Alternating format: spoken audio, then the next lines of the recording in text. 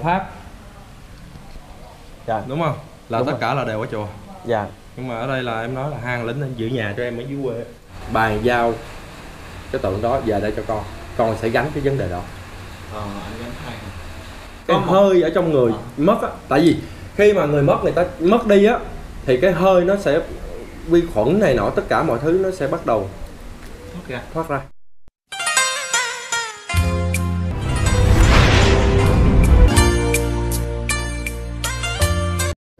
À, dạ cô bác quý anh chị. Đây là cái chiếc xe um, mai táng đưa người mất về nhà của anh Nhật nè. Và mình đã thực hiện những cái video clip về uh, ngôi nhà mà chứa đầy quan tài của anh Nhật. Thì tiếp theo mời cô bác quý anh chị cùng theo Bùi Hồ vô cái nhà riêng nơi mà anh Nhật ở nha. Đó. đi anh Hoa. Đây số điện thoại anh có dán số điện thoại trên xe luôn nè. Và nãy giờ thì mấy anh em cũng uh, làm cái uh, chuyển những cái đồ uh, vô trong cái nhà quan tài rồi mình gọi là nhà quan tài á. Tại vì thật ra thì uh, vô đó ngán quá. Anh Hoa thì anh còn uh, ấy nè. Anh Nhật ơi em quay bên đây được không? Được, bên đây là uh, hộ pháp tiêu diệt tiêu diệt hộ pháp. Ở, ở trên thì có đề tạng dương bồ tát à trên kia mẹ quan âm. Ở bên đây thì à, thờ quan công. Ở bên đây thì à, cái bên tượng quan công thì có à, ông à, trương phi. Ở bên đây là ông thần gì hay anh anh Hoa biết không? Anh cũng không cần ồ. Ở dưới đây nè. Ở dưới đây có uh, ngu đầu mã diện ha anh đợi cho một nữa ở đây là hắc bạch vô thường. Với lại ông ờ, ông diêm dương người ta gọi diêm chúa. Diêm chúa. Này mình mới đem về hả anh, anh, anh giờ bữa giờ chưa có thời gian bỏ ra. Dạ. Ở, ở đây nói tin hay không tùy. Bốn lính. Anh Nhật anh cứ nói là trên có ta ờ mấy ông, ông tiêu diện hộ pháp là sao anh Nhật? Lính. Lính. Hàng lính á. Chỉ anh Nhật mới dám nói thôi chứ thật ra là là không ai dám nói hết á.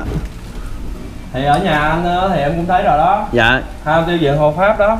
Nhà riêng của anh Nhật đó cô bác anh chị anh Nhật có chụp hình gửi cho Bùi Hồ là tiêu diện hộ pháp để trước cửa nhà luôn. Đúng rồi. Thường thường thì phong thủy người ta để ờ, hai ông gì?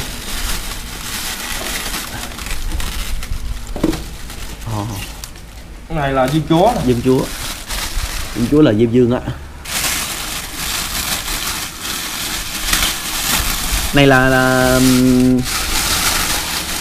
người ta cũng ấy sao anh nhật? Ừ? anh anh đem về hay là anh đừng quân gửi anh?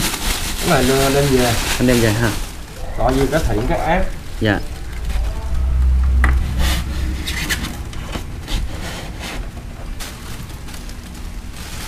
Thiện ác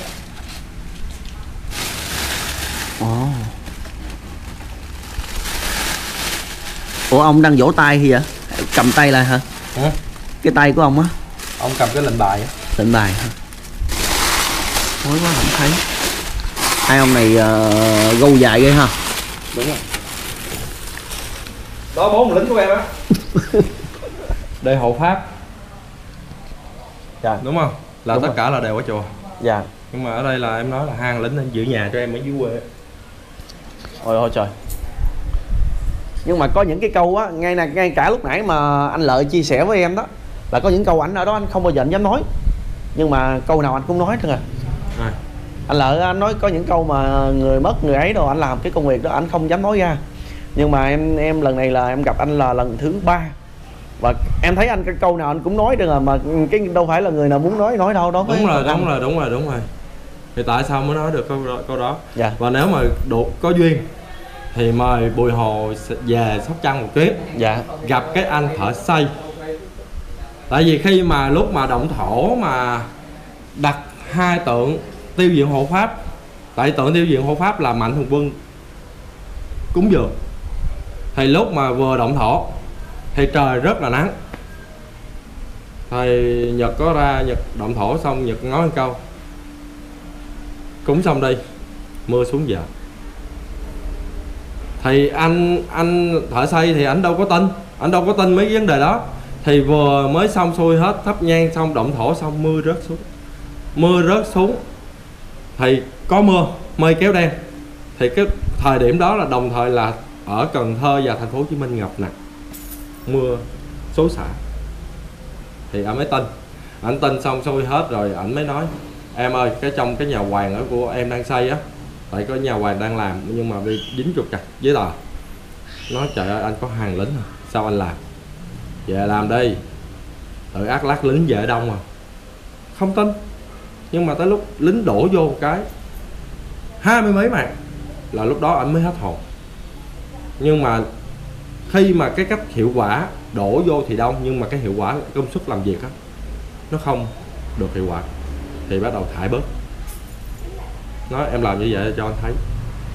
Anh Nó có giác quan thứ sáu hay gì anh nhỉ? Không biết nữa đôi khi không không hiểu được. Không hiểu tại đôi khi á nhiều khi á mình nói chuyện nhưng mà tới lúc mà ngày hôm sau hỏi lại mình lại không nhớ và không biết người đang nói là ai đó. Ồ. Tại vì những việc đó đã có người kiểm chứng. Dạ. Thôi đi chắc uh, à, mạnh qua ghế đi. Ha Là chỗ um, em thì không không không gành và phương diện tâm linh thì mỗi mỗi người một tín ngưỡng riêng. Giờ đúng rồi. Ờ, em thấy ờ, đôi khi tất cả lại nhà của những người á thì người ta thờ quan công là quan công thôi. Nhưng mà à, em thì thấy anh thờ có tượng của trương phi nữa. Ừ. thì sao anh nhỉ? Tính là anh có thể chia sẻ không? tại vì á cái nguồn gốc đó, đó là nó dày. Chú chính ở nhà là có thờ ông ông màu hồng á. Dạ. Ông đó thì bây giờ nó, hồi xưa là thờ, nhưng mà do một sự cố biến cố gì á, thì lại lật đổ bàn thờ. Rồi xong xuôi á, nó bắt đầu là bao nhiêu biến chướng này nọ nó xảy ra về vấn đề tâm linh mà. Thì lúc mà nhật về, Nhật nói, đứng dậy, đi rồi bây giờ nè bàn giao cái tượng đó về đây cho con. Con sẽ gánh cái vấn đề đó. Ờ anh gánh hai thì bây giờ mua nguyên một bộ nguyên mua cái tượng đó không thì lại không có có bán một một bộ. Thì bắt buộc phải vô một bộ mà vô tình mình vô, mua một bộ đó về xong cái mình mấy ông về hết luôn. Và bây giờ giờ này. là mình đều phải thuê để mình ở. Thì ba ở nhà á có nói ờ bà nội cho đất về dưới quê cất nhà. Nó cho nhiêu? Nó cho ngang 8 dài 12 cất nhà hả, mấy vợ chồng con cái ở được rồi. Rồi ba cho lại con. Dạ. Đấy thì nói vậy ba làm cho con cái giấy này nọ rồi rồi con con tính thì ba cũng làm giấy tờ này nọ xong xuôi hết rồi cái mình nói ba câu. Giờ sống cũng nằm có nhiêu đó. Chết nó cũng chui vô có nhiêu đó nào. Bây giờ đất này làm tích thiện đường hai con phục vụ cho bà con nghèo luôn đi. Là cái nhà hoàng cái nơi mà làm cái mai táng miễn phí cho bà con nghèo. Không phải lo nữa. Dạ. Là đất đó ở dưới bình chánh. Nó ủa vậy là cuối cùng là cho cuối cùng là cho miếng đất để cất nhà rồi giờ làm cái cái nhà hoàng tích thiện đường nữa để phục vụ cho bà con tiếp nữa thấy giờ thầy thấy chết xong xuôi hết thì cũng chui vô cái hũ nằm rồi hết rồi đâu mang theo được tất cả mọi cái gì đâu. Không mang theo được cái gì hết. Ờ, em à, thì như thế này là Nhật tại vì em em không biết em hỏi tại anh thì làm cái công việc mai táng này rất lâu. Và nó phải có một cái ờ, cái tục lệ á. thì ờ, em thấy những người mất á thì ờ, họ lại ờ, để cái một cái nải chuối lên bụng. Đó thì em không không hiểu ý nghĩa là để cái nải chuối lên như thế nào. Thì hôm nay thì anh có thể chia sẻ cho em nghe mình hiểu á. Vấn đề để nải chuối lên bụng á là thường thường thấy người ta hay để nải chuối xanh dạ. Thì mình cứ nghĩ đơn giản đi. Lúc mới sanh ra thì tất cả nhà bảo sanh đều phải cắt cúng rúng cho em bé. Dạ. Và để thời gian là tự động. Cái cúng rúng đó nó rụt dạ. Rồi đôi khi mình ăn uống hoặc là mình cảm thấy khó tiêu nhìn đơn giản. Rồi có nhiều người người ta kiểu như đau bụng. Tại sao? Gió nó vào nó làm cho lạnh bụng hoặc là cái gì khiến cho con người đau bụng. Và khi chết cũng vậy. Thì cái hơi nó sẽ ra từ đâu? Cũng từ cái cuốn rút thì mình dằn cái chuối lên để nó hút bớt cái vấn đề đó đi. Là như vậy. Là nó hút cái có hơi ở trong người Ờ. mất á. Tại vì khi mà người mất người ta mất đi á thì cái hơi nó sẽ vi khuẩn này nọ tất cả mọi thứ nó sẽ bắt đầu thoát ra. thoát ra. Thì thoát ra bây giờ cái miệng thì ngậm thoát ra đường nào? Một là đường mũi hai là chỉ có đường cuốn rúng nữa thôi. Tại cuốn rúng là cái nơi mà lúc mà mới sinh ra là mình phải cắt á cái cuốn rúng đó đi. Tại sao những người người ta nhiều khi người ta bị đau bụng này nọ là vậy? Nhưng mà em này em có nghe nói là chuối từ màu xanh nó sẽ chuyển sang chín luôn hả? Có tùy theo trường hợp tại vì tùy theo cái vấn đề là để cái xác đó lâu hay là nhanh nếu mà để nhanh thì chính tại vì cái hơi nó cái này chuối nó hút vô từ từ. Nó hút vô từ từ nếu mà ví dụ như để quá ngày thì nó sẽ ngã qua màu luôn. Từ xanh thành chín. Nhưng mà thường thường là khi mà mình bắt tay vô mình tẩn liệm á là cái nải chuối đó chặt bỏ. Tránh trường hợp nhiều người không biết người ta lại bẻ người ta ăn. Có sao thì anh cứ nghĩ là những cái hơi hám mà Ờ. vô mà quả chuối rồi xong cái người sống lấy bốc ăn cái là nó sẽ bao nhiêu như thế nào? Nên đâm ra khi mà vừa tận liệm rồi bắt người nhà lấy quả này chuối chặt liền. Chặt bỏ. Chặt sao chặt không cần biết. Chặt bỏ đi. Để, để tránh người khác ăn. Là như vậy. Đối với tận liệm một người ờ, mất như thế thì có những điều kiên kỵ gì không anh? Đối với chủ nhà. Thì quan trọng là thường thường là do thầy coi thầy coi tuổi người người mất rồi coi tuổi người sống rồi coi kiên kỵ con cái. Còn anh em mà cứ phát tâm làm thì đâu đến vấn đề đó đâu có kiên kỵ được. Nếu kiên kỵ thì mất anh em sau tẩn liệm nên cứ bắt tay cứ nói vô làm đi. Làm đi nói lính ông nhật á. Trên ông chợ dưới ông nhật mà. Nói lính ông nhật á vô làm đi. Rồi sao? Cứ làm.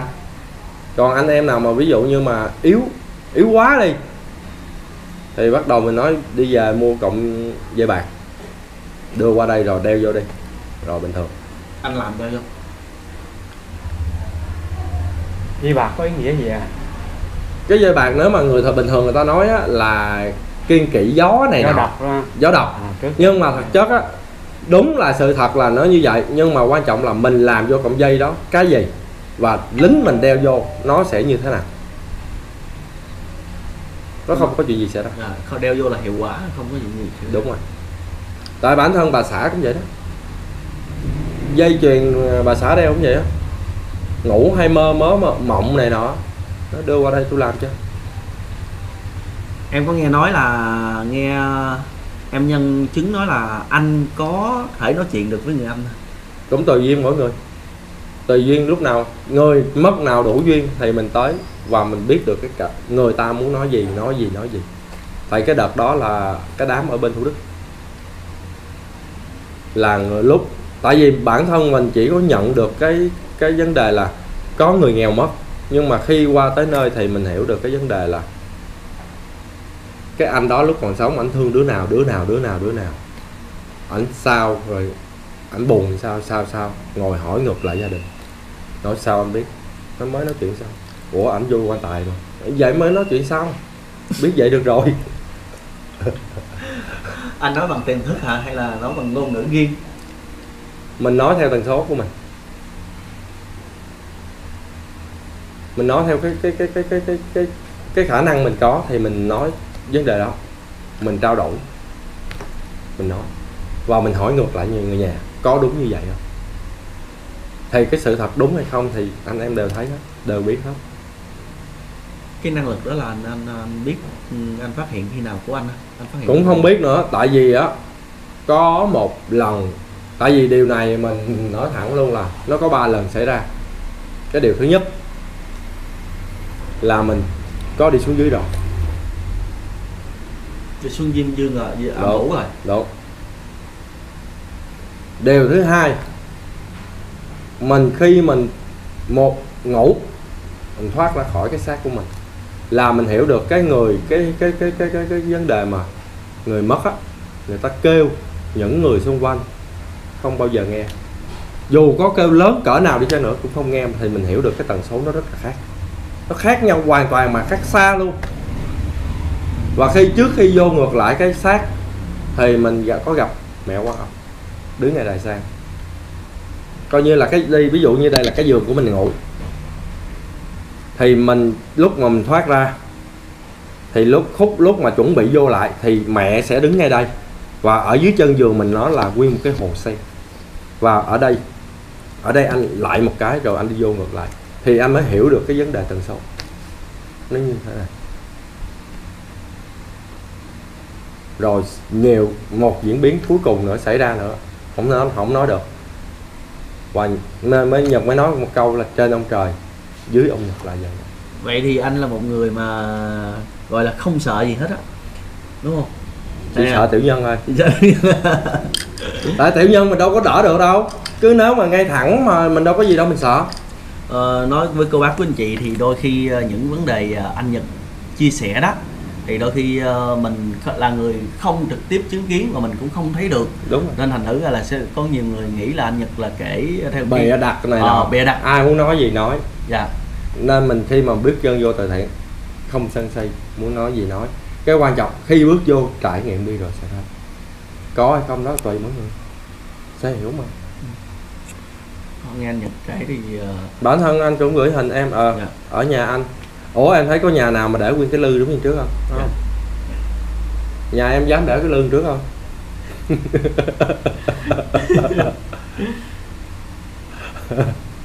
Đó hình anh gửi qua cho em rõ ràng nhà anh để nguyên cái lư đó. Đó mạnh thường quân cũng cúng dường cho đó. Tất cả mọi thứ đều mạnh thường quân cúng dường hết. Gọi điện. Anh coi giúp giùm em. Khi nào chồng em chết.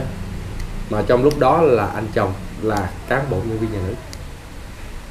Không biết anh chồng bệnh gì, nhưng mà hỏi chị coi để làm gì. Nói dạ em coi để em biết, em chuẩn bị.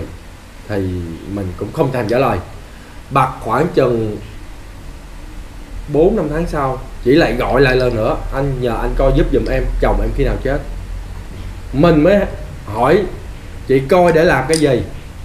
Nói dạ em coi chuẩn bị, tại vì để em coi phương hướng này nọ tùm lum tùm lưa nói bà mẹ ơi ngồi vợ chồng nhau mà ngồi coi mà khi nào chồng chết không thì chết mẹ rồi.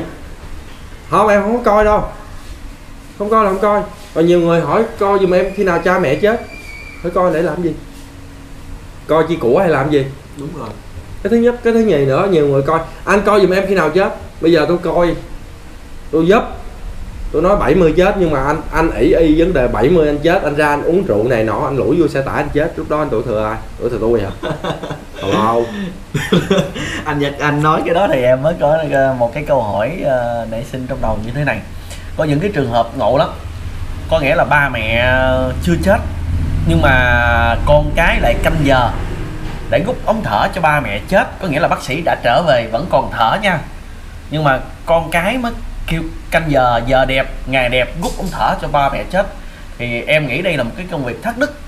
Ừ. thì ờ, có nhiều người nói thì đây là phong thủy nhưng mà anh có thể chia sẻ cho em coi đó phải là cái gọi là tước đi mạng sống mà thất đức không? Cái đó nói thẳng luôn cái đó giờ đó cái đó nói thật chất là do cái lòng tham lam của con người. Tại vì nói đúng không nói bây giờ nè một người người ta mất tới ngày tới giờ là người ta mất. Còn vấn đề rút ống thở ra, nếu còn thở được, cứ để cho thở. Bản thân có một chú ở bên ờ, bữa mới đưa về chùa, rút ống thở ra. Chú vẫn sống. Cảm thấy ok, đưa chú về nhà, khi nào chú mất, gọi con con qua. Là thì cái đó để tự nhiên. Còn cái vấn đề mà coi ngày, coi giờ, coi coi coi nó đúng luôn là cái cái lòng tham của con người coi để chi? Coi để mình để được việc.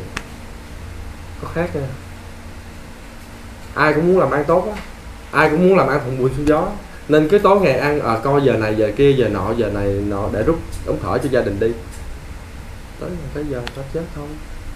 Cứ tự để theo tự nhiên. Nên tại sao hay nói câu vạn sự tùy duyên là vậy? Cứ để tới ngày tới giờ. Chứ rút ra canh giờ canh này canh nọ. Bây giờ đâu có ai mà có làm mới có ăn chứ đâu có ai mà nằm ở không đợi trái táo rớt xuống cho ăn. Đúng không? Dạ. Ừ. thì làm được hay không là do cái vấn đề cái cách suy nghĩ của mình. Mình làm. Hoặc đôi khi nhờ vợ nhờ bạn bè đi lên. Cũng có đôi khi vì vợ vì bạn bè đi ăn mày lúc đó là sao? Ý nên cái vấn đề ví dụ như đưa người thân về nhà cứ tùy duyên đi. Tới lúc người ta mất rồi người ta mất cứ đừng có đừng có canh ngày canh giờ canh canh để làm gì? Thời buổi này có làm mới có ăn chứ không làm lấy đâu ra ăn chỉ có đi lừa đảo đi ăn cướp thôi. Đó là sự thật. Cứ làm chân chính thì mình đâu có gì đâu mình sợ. Dạ. vậy thôi. Cái bản thân đây anh đi làm công việc từ thiện. Ngoài cái vấn đề mình làm ở cơ quan nhà nước. Đúng không? Mình làm thêm cái công việc thiện nguyện giúp đỡ bà con nghèo. Rồi ở ngoài Hà Nội mời ra lãnh bằng khen có sẵn đây. Đúng không? Bằng khen ở đây ở ngoài Hà Nội lãnh.